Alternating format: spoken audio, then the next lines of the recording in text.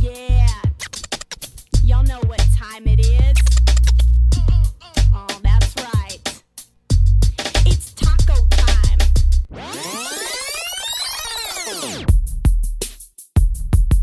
What's up, everybody? Anna O in the place. Cause I heard Taco C's looking for a new face. And I got more skills than monkeys got bananas. I'm it, and you can call me Anna Cabana. Is there any reason